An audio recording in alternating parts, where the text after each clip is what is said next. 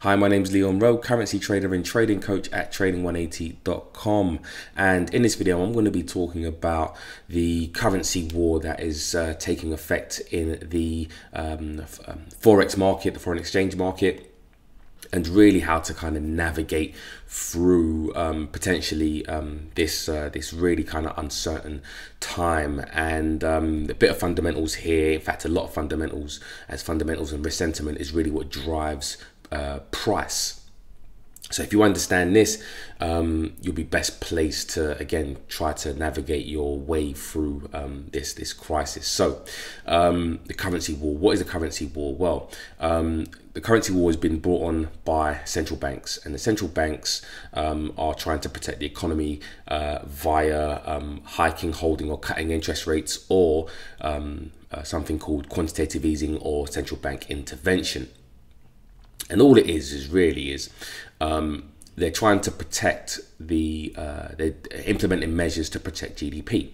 So as we know, currencies are traded in what pairs. Yeah. So the way that you need to think about um, uh, currency trading is strength versus weakness. Who's the strongest one and who's the weakest one out of the two? So if you're trading the Australian dollar versus the US dollar, you want to find out why the Australian dollar is strong and why the um, US dollar is weak, or vice versa and then that creates what? Trends that, that will create you know if the if, if you're trading the aussie dollar and the australian dollar is the stronger out of the two yeah then you get uptrends. If the dollar is the stronger out of the two then you get downtrends yeah? Or you should get something like that. And if they're both of equal measure then you should get what? A ranging market at some point. Now what determines strength versus weakness is uh, three things you've got inflation, yeah, you've got interest rates, and you've got um, GDP. So the better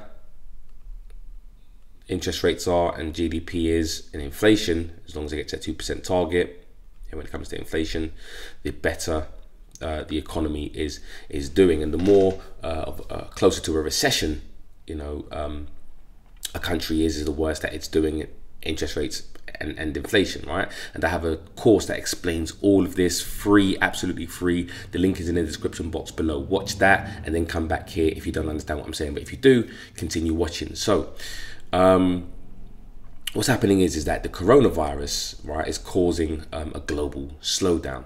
So um, what central banks are trying to do is cut interest rates. Now why are they cutting interest rates or potentially introducing um, you know thing measures like QE right negative interest rates um, and central bank intervention?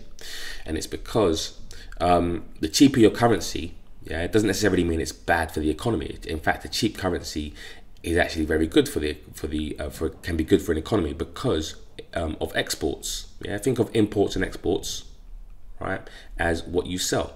Right, all of these, all of these are shops. Yeah, the dollar is a shop. The uh, Aussie Australian dollar is, is, is, is, is a business, right? And you, as a business, um, you want to sell, you know, goods, goods and services, right? So the more goods you can sell with a with a, with a cheaper um, uh, export, yeah, the better. So if you got two countries competing, selling the same product, right? It's the reason why China, right? Everyone goes to China to produce and manufacture their goods because they can they can uh, you, you, can produce the same you know uh, a, a, phone or, or piece of clothing in China for pretty much pennies. And if you was to do that in the US, for example, or, or England, or in the UK, it would cost you a lot more. So the, the point is is to manufacture it in China and sell it, you know, to the rest of the world because China have a cheap exchange rate, yeah, compared to um, you know every every other currency, yeah.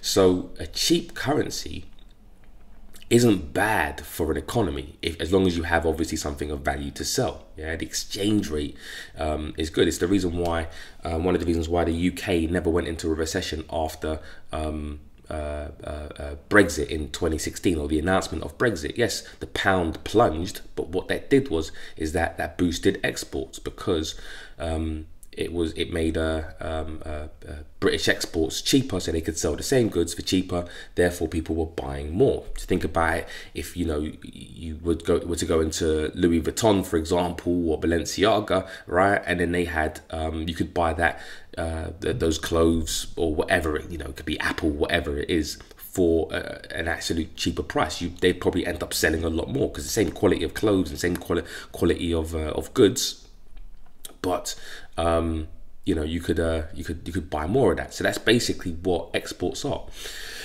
right? Or what, what interest rates can do to the economy. What also interest rates do um, with, with an economy is that they allow businesses to borrow for cheaper yeah so they can invest into uh, um, uh, into trying to um, to eh, for growth yeah so rather than borrowing at for example you know 1.75 percent which was what it was previously yeah in in the United States yeah the Fed cut rates to 1.25 yeah and that has a knock-on effect with businesses that has a knock-on effect with mortgages people have more money in their pockets to uh, to spend money because their mortgages are less. Uh, businesses can borrow more, you know, borrow for, for cheaper. Therefore, invest or reinvest in you know um, in in in their company um, in times of trouble. So what's happening, you know, regarding um, uh, you know the, the, the currency war due to the due to the global slowdown. So globally, we know that the coronavirus is spreading, right? And so the first central bank to cut was the um, Australian central bank, right? And they cut um, rates to a record low of 0.5%, yeah, on coronavirus concerns. So they cut, yeah, and they're currently at um, 0.5%. Then it was over to the US, yeah, to to to to uh, to see what they would do. Remember, because it's affecting everybody. The coronavirus is affecting everyone. So, um, the Federal Reserve announced its first emergency rate cut since the financial crisis. Yeah. So again, keep in mind that every country is trying to protect what their GDP. Yeah. By lowering interest rates. Yeah. Therefore, they're trying to protect their GDP. oh. ultra quilted, and he's gone. Sorry about that. So that's the effect of um, of cutting interest rates to now 1.25 percent, and then the Bank of Canada did exactly the same thing. The Bank of England today decided that they wanted to do emergency cuts. Yeah, um, they slashed rates by 50 basis points, surprising the market. Yeah, so the Bank of England are now at 0.25. Now the problem with the euro is that they are already at zero. Yeah, so they got other measures to do. They can either cut into negative interest rates or announce more quantitative easing. Japan are even worse. They are at zero minus minus 0.1 percent, and they're already quantitative easing. Uh, Swiss franc, I think, are at minus. I think it's minus minus one percent. I think it is and so on and so forth. Or the, the, the, New Zealand dollar isn't that bad. I think they're at 1% at the moment. Yeah. So what does this mean? So what does this mean overall? Let me get to the point. The point is, is that interest rates, yeah, and the fact that they're cutting, uh, all central banks are cutting interest rates, is who is going to be best to weather the storm? Yeah. Who is going to be best to weather the storm? Who's in the, you know, as once was told to me, you know, you've it's the dog with the least fleas at the end of the day. Yeah, who is going to be the which country is going to survive or be least affected by it by the by the coronavirus slowdown? Right, Europe are already in recession territory. Japan are, are in recession territory as well. Yeah, the Bank of England and in the UK are also there. Best placed at the moment are the US dollar, right, or the US economy at the moment because their GDP is a lot higher than the rest of these guys. Yeah. So who's going to reach recession first? And recessions normally last for an average of, they say, two years, right? Just an average. So it's not really about interest rates, right? Because, you know, the Bank of Canada, when they cut interest rates, if you go to Financial Times, what it says here is that central banks and finance authorities across the globe, globe have vowed to enact stimulus measures as needed with the spread of the virus causing angst among, amongst investors. Yeah, so there is a coordinated effort. There's a coordinated effort amongst the central banks to protect their economies. Now, none of us know what these measures are going to do to, you know, or do for the the, the economies of the, these particular currencies. The hope is is that obviously interest rate cuts or quantitative easing or even um, the, the, the dreaded um, central bank intervention, you know, Japanese yen, Bank of Japan on currency intervention alert as volatility surges, yeah, um, is, is going to have for the economy. But what the um, what they what we're looking for ultimately, yeah, is the uh, what we should be looking at in the uh, in this in these times is GDP. That's where, in my opinion, of course, it's my opinion, that's where the focus is going to be. Yeah, inflation is probably going to be taking a back seat for now. Interest rates, everybody's cutting yeah, everybody's cutting rates, doing emergency cuts now. The Bank of Canada did an emergency cut. The Bank of England today did an emergency cut. It's over to Europe now tomorrow to see what they they're gonna do and how they're gonna react to everyone else, and then over to Japan and then over to um, the Swiss franc and then or Switzerland, the Swiss National Bank, and then over to New Zealand, and then it's going to be back over to the Australian dollar, depending on what um, uh, their, their GDP numbers come out. So if if Australia then their GDP comes out and it's as expected, or you know it's it's weathering the storm, you can probably expect the, the, the Australian dollar to start to rally.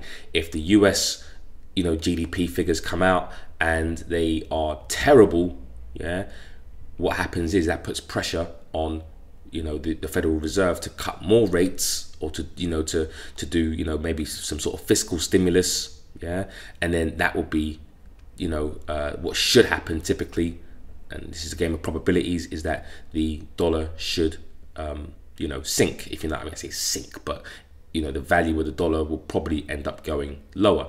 But it all depends on GDP now. This is what is in focus. Everything else, as far as inflation, and even interest rates are in focus to a certain degree, and uh, quantitative easing, obviously, the measure that the uh, European Central Bank and uh, the, the, the, the Bank of Japan and the Swiss National Bank are going to do, is obviously in focus.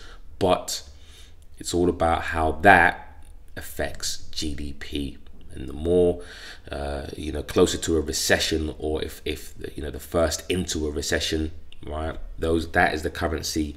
Um, you should maybe be selling. Again, this isn't financial advice. Um, I can't offer, offer, financial advice, but this is how fundamentals and risk sentiment work. And just for before I go as well, um, Japan are actually in probably Japan and Europe are probably the two in the worst situations. Put the Swiss franc at the moment, and the Bank of England and, and the UK as well. So those four, I would probably say are in the uh, in, in the worst situations out of you know the eight. And again, that's just my opinion, not financial advice, but um, economically, uh, looking at the data, these these are basically the uh, the currencies I would be. I'm personally looking to uh, sell in a risk-on environment. Obviously, the, Jap the, Japanese yen and Swiss franc appreciate in value, which is problematic. So, um, again, there's a special caution with with these two. Right, but these two are the ones I would be looking to potentially get short on. Anyways, um, again, not financial advice. I have to reiterate that um, most of you will end up, uh, you know, losing your money in the forex markets. I have to say that as a disclaimer. So, um, uh, just but this is for educational purposes only. Yeah. Um, some more advice is just manage your risk try to trade at, the smallest risk you can 0.1 0.2 percent or however small your account you know um, can manage yeah your aim is to stay in the game right for as long as possible manage your risk let the profits take care of themselves go for more than what you risk and um, eventually you should be okay. Anyways, guys, take care and I'll speak to you soon. So if what I'm saying resonates with you, why not check out trading180.com? There is a selection process to trade my supply and demand zone forex strategy.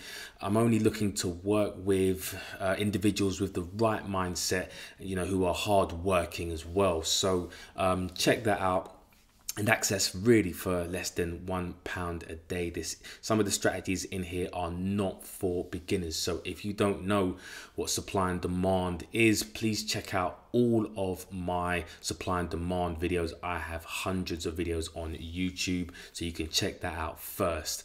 Um, guys take care and until the next video have a good one